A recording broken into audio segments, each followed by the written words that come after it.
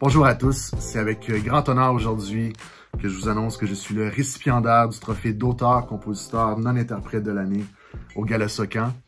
Euh, J'aimerais ça remercier ma femme, ma famille, mes amis et euh, tous mes euh, collaborateurs créatifs qui m'inspirent énormément, mais euh, surtout souligner le travail extraordinaire que la Socan fait auprès de ses créateurs.